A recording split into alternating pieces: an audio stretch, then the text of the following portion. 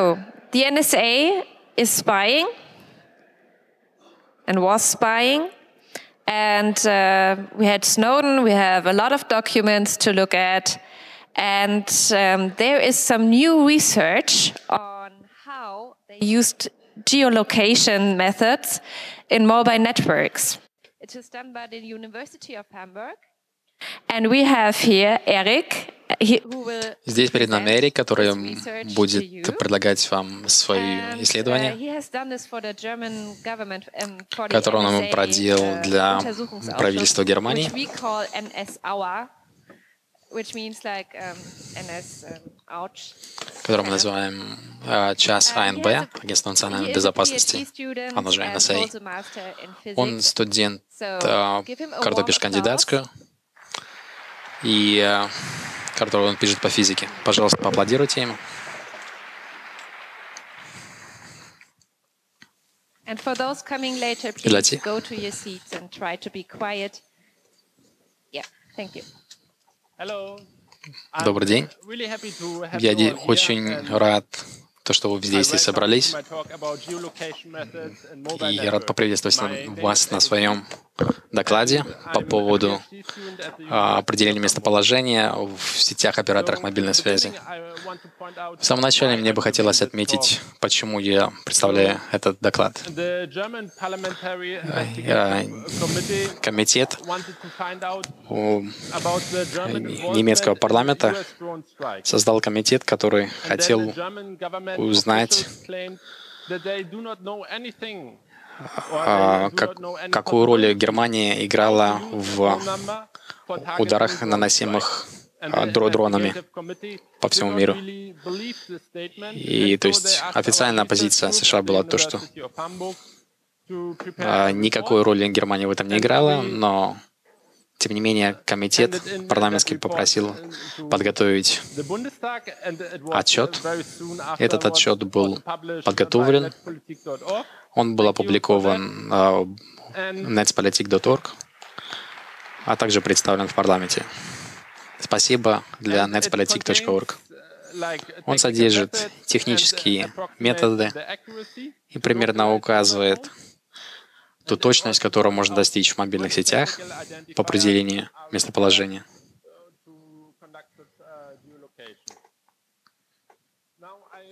Сейчас я представляю вам а, примерный план на мою презентацию. То есть сначала мы рассмотрим, почему вообще а, хотят определять местоположение в мобильных сетях. Затем, во второе, мы посмотрим основные методы определения положения. Третье, мы уже поговорим об дронах. И затем мы поговорим о технических идентификаторах, которые могут быть использованы в, место, в определении местоположения. И в, конце концов я подведу итог. Значит, цель ге- геолокации, она же местополо- определение местоположения. Ну, первое — это миссии по спасению, эвакуация. То есть данные по геолокации могут помочь найти людей, чтобы спасти их. Или же те, кто пользуется а, Google Maps, Google Traffic, они могут увидеть загруженность дорог. Также это можно использовать, чтобы нарушать приватность пользователей, определять лю- людей э, для целей пре- преследования. Безусловно, мы также можем использовать эти данные для а, ударов дронами, нанесения ударов дронами. Я также хочу отметить, что эти данные, э, они не подходят для того, чтобы опреде- определить личность человека. То есть если эти данные используются для нанесения ударов дронами, невозможно определить, кто же на самом деле был убит. Справа вы видите картинку удара, а, нанесенной а, ракетой Hellfire. В радио, радиус поражения этой ракеты ну, примерно 20 метров. То есть, то есть такие понятия, как точный удар, на самом деле точность таких ударов не может превышать 20 метров. Первый подход, который я хотел бы вам представить, это измерение вре- времени. Для этого используются данные э, базовой станции. Базовая станция — это точка, которая в мобильной сети, которая подключается в ваш телефон.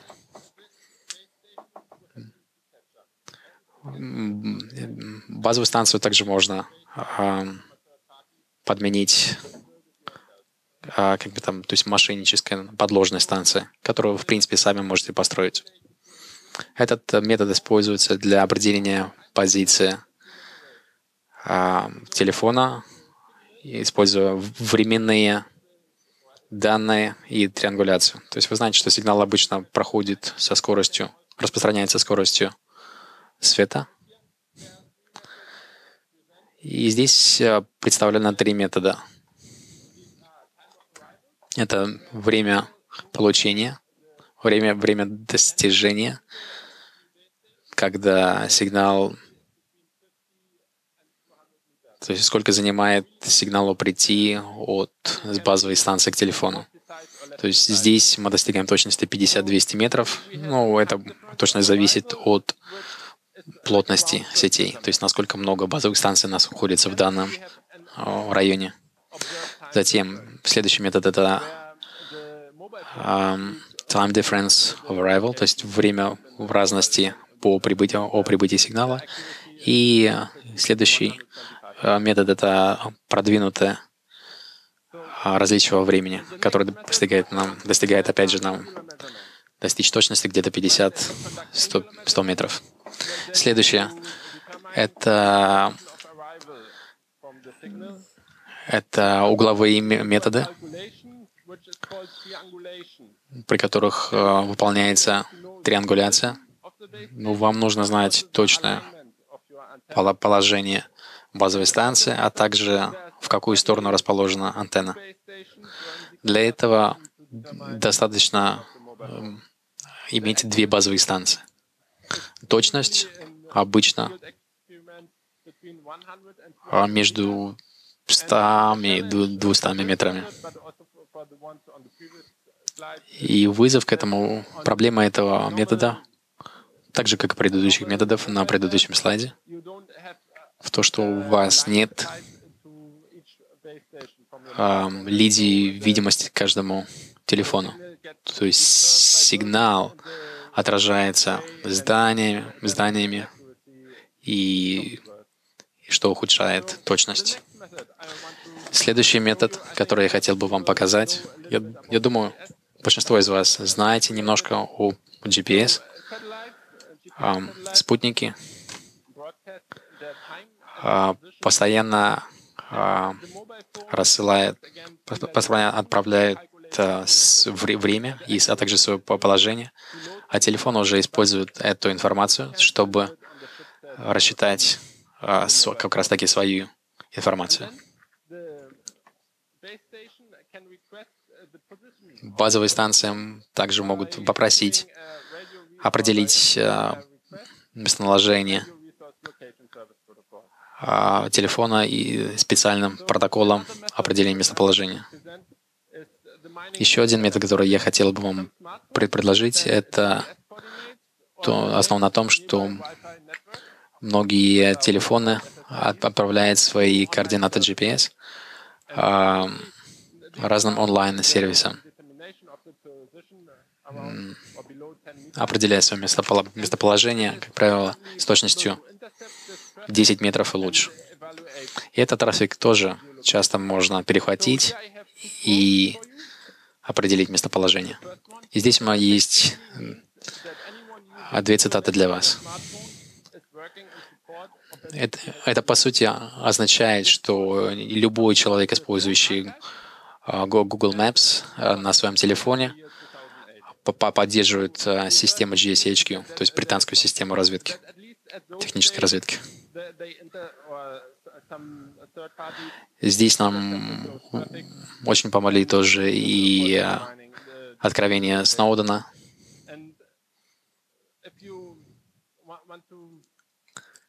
Вот эта цитата из как раз из его, из так называемого архива Сноудена 2008 necessary that you have a map where certain uh,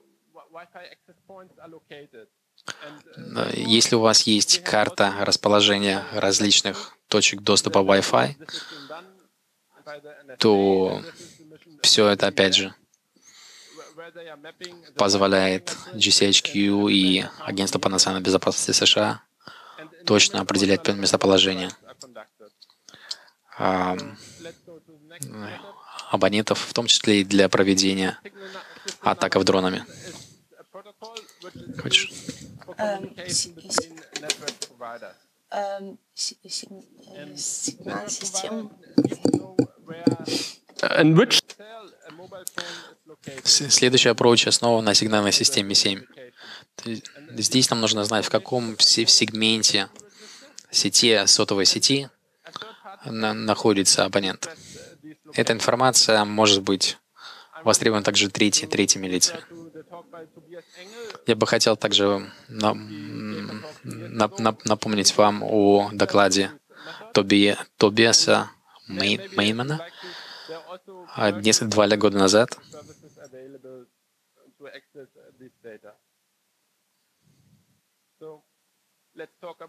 Давайте теперь поговорим о дронах. У нас нет а, твердых доказательств того, что ге- методы геолокации геолокация проводится дронами, но у нас есть не косвенное на это доказательство.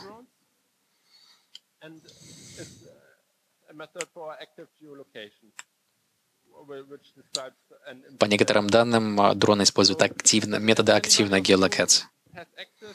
Если кто-либо из вас имеет доступ к каким-либо дополнительным документам, мне было очень интересно было на них посмотреть.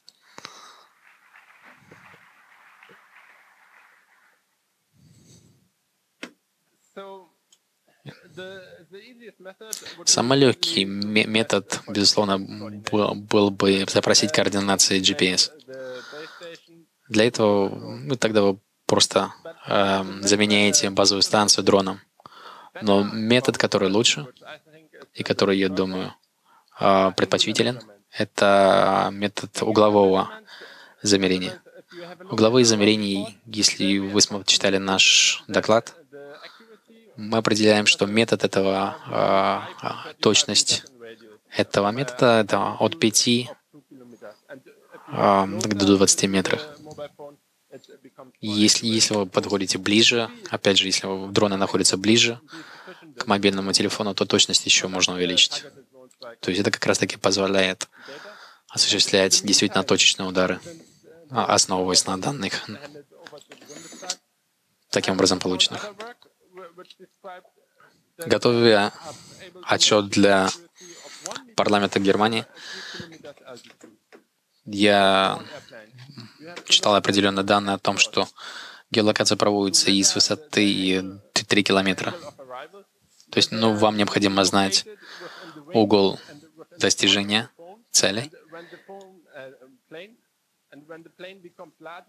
Uh. И чем больше телефон, тем легче определять геолокацию. uh,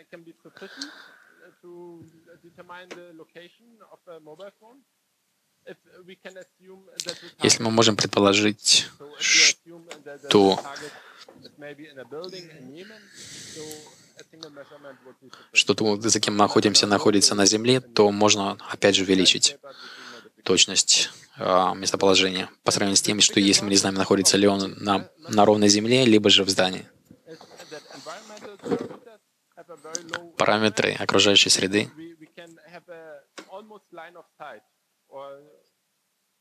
безусловно, ва- важны для точности. Сейчас я буду говорить о об идентификаторах, которые могут быть использованы для number Безусловно, телефонный номер catcher или, или любая базовая станция, либо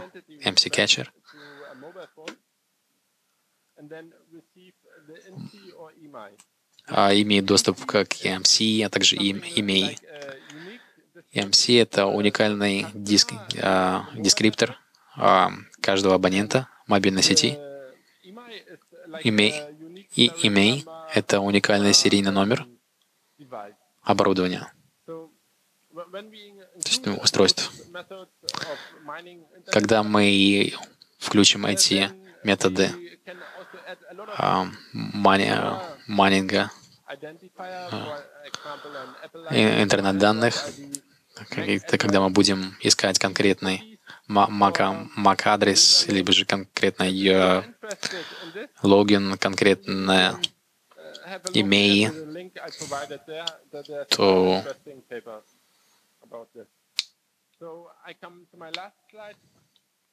А теперь я подхожу к самому последнему слайду um, моего обобщения. То, что есть разные методы нах- нахождения местоположения э, phone. мобильного Uh, телефона, а также что дроны тоже могут использовать эти методы для определения положения телефонов. И никто никогда не отрицал, что эти методы ам, могут ам, применяться. Это бы не отрицалось и во время слушания в парламенте.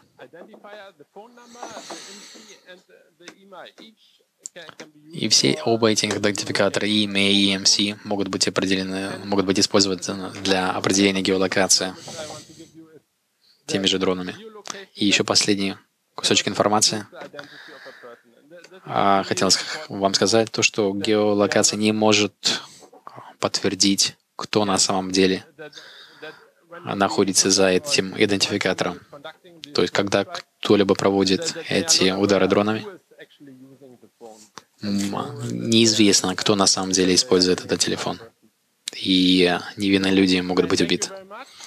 Здесь мне хотелось бы сказать вам спасибо, сказать спасибо своей семье и своим коллегам и вообще всем. Спасибо.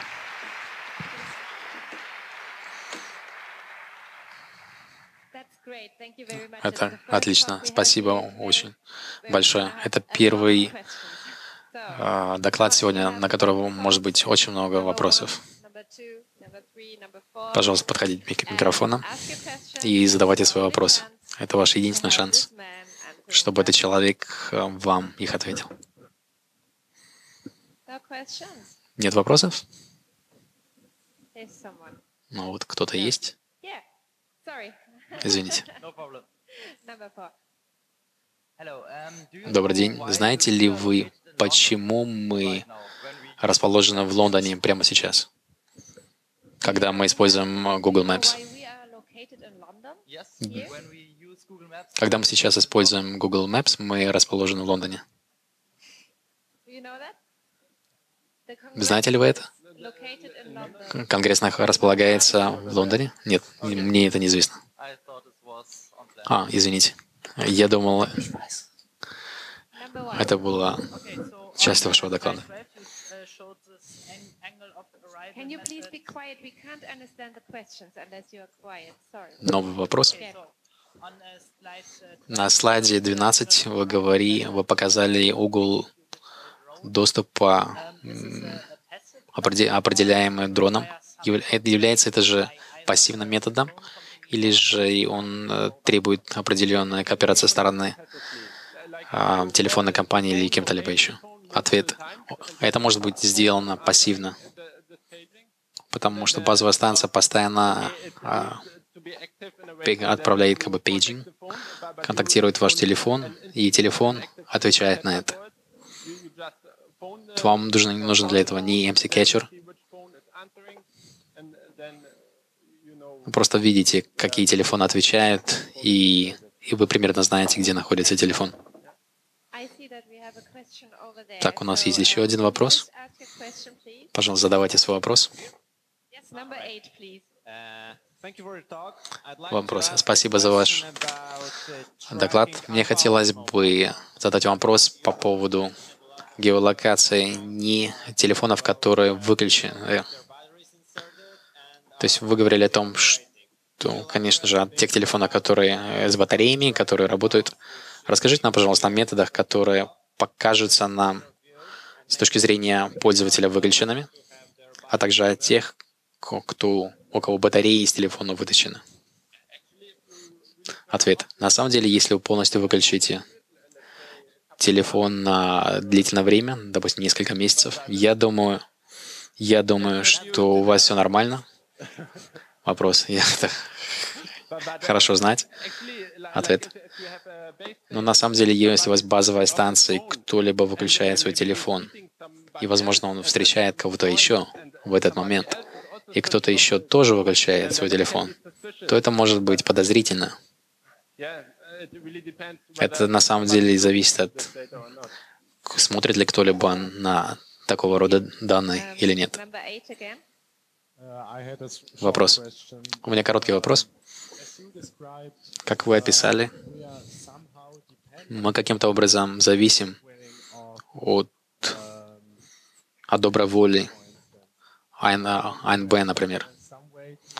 Но мне хотелось бы спросить вас, есть ли какая-либо либо путь и манера все-таки избежать этой геолокации? Ответ. Это очень, на самом деле, тяжело. Я бы предположил, что от телефона с GPS на самом деле чуть-чуть проще, чтобы они как бы предотвратить геолокацию. Но если же у вас есть дрон, который прямо над вас, и вы издаете физический сигнал, то есть ваш телефон издает физический сигнал, то дрону, дрону удастся определить источник сигнала. То есть это сложно. Это физически сложно. Вопрос. У меня есть вопрос по поводу физичности вот этих а, угловых замерений в густо заселенной местности, где дрон располагается, скажем, на высоте трех километров. Это, безусловно, потребовало бы быть более чувствительным той же базовой станции, поскольку будет и больше интерференции, шума. Ответ. Об, обычно дрон может как бы ну, мы рассматривать как 2 километра до десятков километров. Вопрос. То есть дрон обычно же фокусируется, то есть смотрит на определен, определенную, на определенную ячейку, в которой находится подозреваемый. Ответ. Но это зависит. То есть вы, конечно, можете уменьшить, э, сфокусироваться на, определ, на определенной ячейке или даже на определенной доле в этой ячейке, ну, либо же рассматривать более, либо же не фокусироваться, а рассматривать более большую зону. Вопрос. А что в случае с, квад, с квадрокоптерами? Рассматривали ли вы их?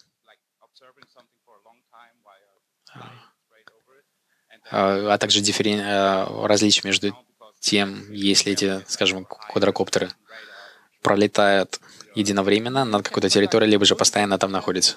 Ответ. Вы можете проводить много, много измерений, либо же провести только один, одно измерение, если вы находитесь, если знаете, где находится а, а, то, за кем а, то, за кем вы смотрите. У нас еще один есть вопрос из интернета. Интернет хочет знать, есть ли какие-то атрибуты, чтобы, которые можно изменить на телефоне, такие как email? То есть можно ли их изменить, чтобы каким-то образом усложнить слежку или остановить ее полностью? Ответ. Конечно же, вы можете поделать email или MC.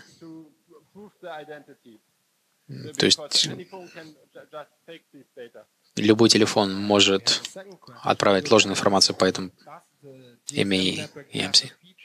Вопрос. Есть ли какие-либо характеристики в, G- в, G- в сетях GSM, которые позволяют получить а, GPS-данные из телефона? Ответ. Это был бы Radio Location Service Protocol, то есть э, протокол определения радиолокации. Okay, Вопрос. Добрый день. По поводу ваших э, докладов парла- Is there a парламенту. statement from the От парламента не было, не было никаких заявлений по поводу этого поводу. Было ли что-либо в этом плане? Ответ. На самом деле правительство что-то сказало об этом, но они умыли свои руки и все как-то сделали, ну, все было сделано как-то красиво, в том типе, что АНБ заставляют э, придерживаться неме- законов Германии и что им не разрешается что-либо делать с этими данными. Еще один вопрос. Добрый день. On slide 12, На слайде 12 you specified uh, accuracy вы 5 meters указали точность до 5 метров для определенных дронов. А каким образом это масштабируется, если у вас более двух дронов, например, 10? I think that there was a small misunderstanding. А, Ответ. На самом деле, думаю, была здесь определенная непонятка. На самом деле, одного дрона достаточно. Вопрос. Можете ли вы использовать более одного дрона? Ответ. Да, конечно, вы можете использовать более одного дрона, но одного достаточно. Вопрос. Да, но улучшается ли точность использования более одного? Ответ. Да, если вы под- подходите ближе к, к target, то точность увеличивается. Вопрос. Да, но та же самое а, расстояние, но более одного дрона. Ответ. На самом деле нет.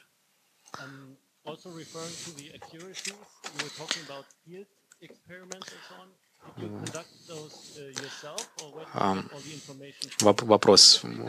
Говоря о определении местоположения, вы ссылались на определенные эксперименты. Проводили ли вы их сами или нет? Ответ. На самом деле нет, я их сам не проводил.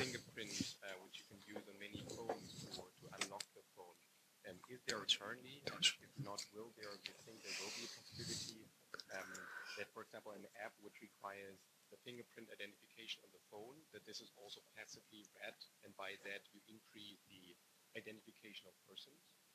Вопрос. А если на оп- определенное приложение используется на телефоне, скажем, которое использует отпечаток пальца и прочее, думаете ли вы, что это а, улучшило бы точность определения все-таки, кто управляет этим телефоном? Ответ.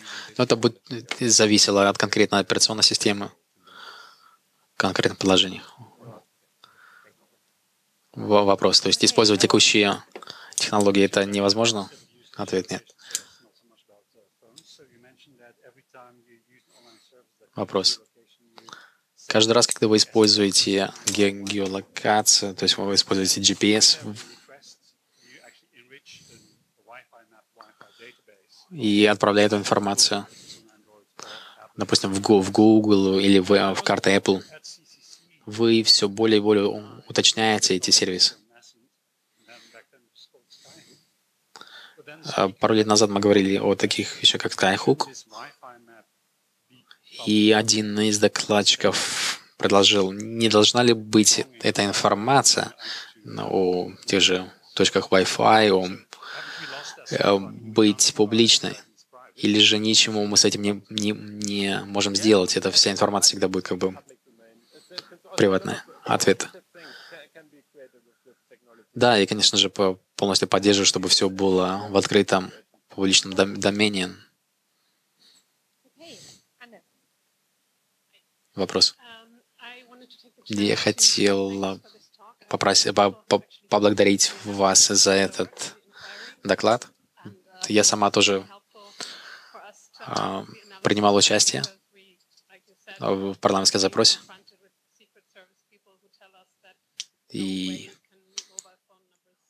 особенно в разговорах с людьми из, из спецслужб, которые просто говорят, что якобы это невозможно. Вот имея ваш доклад, мы все-таки теперь можем сказать, да, такие вещи возможно. Спасибо вам. Спасибо вам большое за вашу работу. Пожалуйста, продолжайте.